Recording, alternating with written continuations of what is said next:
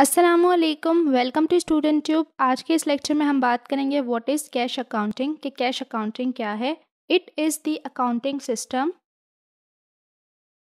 it is the accounting system accounting का ये एक सिस्टम है इन विच जिसमें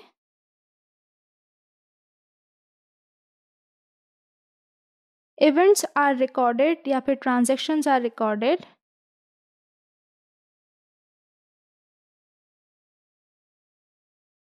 when actual cash or check is received or paid when actual cash or check received or paid अब इसका क्या मतलब हुआ? कैश अकाउंटिंग जो है, वो अकाउंटिंग सिस्टम है इन विच क्या होता है इसमें?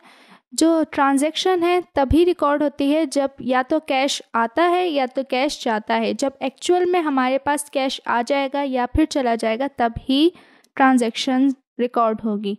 क्या मतलब हुआ इस बात का? इस बात का मतलब ये हुआ कि फॉर एग्ज़ाम्पल अगर जनवरी मंथ ऑफ़ जनवरी का बिल आ चुका है ठीक है?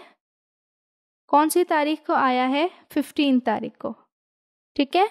फिफ्टीन फैब को जनवरी का बिल आ चुका है, बट हम उसे फिफ्टीन फैब पे रिकॉर्ड नहीं करेंगे। क्यों नहीं करेंगे? क्योंकि हम उसे फिफ्टीन फैब पर पे नहीं कर रहे जनवरी का बिल फिफ्टीन फैब को आया है। हम पे कब कर रहे हैं? ट्वेंटी फाइव फेबरवरी को। ठीक है?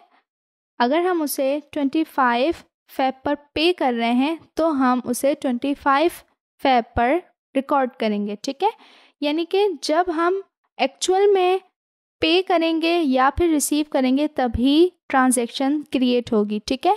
इसी तरह से अगर हम सेल्स करते हैं, ठीक है? और सेल्स होती है हमारी ऑन अकाउंट यानी कि उधार पे सेल्स मतलब हमने किसी को सेल्स तो कर दी है, माल बेच तो दिया है बट उसने हमें पैसे नहीं दिए। और सेल्स हमने की है five March, for example fifth March की की है, बट हम उसे फिफ्थ मार्च पे रिकॉर्ड नहीं करेंगे, क्योंकि सेल्स ऑन अकाउंट है, सेल्स ऑन कैश नहीं है। हमने उसे उधार पे दी है, बट जब वो हमें कैश दे देगा, अगर वो हमें सेवन्थ को देता है, टेंथ को देता है, किसी भी मार्च की, जिस भी डेट को देगा, फॉर एग्ज़ाम्पल टेंथ मार्च को वो हमें कैश देगा तो टेंथ मार्च को हमारी जो ट्रांजेक्शन है वो रिकॉर्ड होगी सेल्स की, ठीक है? तो कैश अकाउंटिंग में क्या होता है? जब भी एक्चुअल में हमारे पास पैसा आएगा या एक्चुअल में हम उसे पे करेंगे, तभी जो है वो ट्रांजेक्शन रिकॉर्ड होती है। Otherwise on account account payable, account receivable के तमाम चीज़ें इसमें नहीं होती, ठीक है? तो ये था आज का टॉपिक जिसमें हमने कैश अकाउंटिंग की बात की। बहुत ही सिंपल टॉपिक था। उम्मीद करती हूँ आपको अच्छे समझ आया होगा। मजीद टॉपिक्स के लिए मेरे चैनल को कर दें सब्सक्राइब और साथ ही अपने क्लासमेट्स एंड फ्रेंड्स से शेयर भी ज़रूर करें। मिलते हैं नेक्स्ट वीडियो में। तब तक के लिए अल्लाह हाफिज़।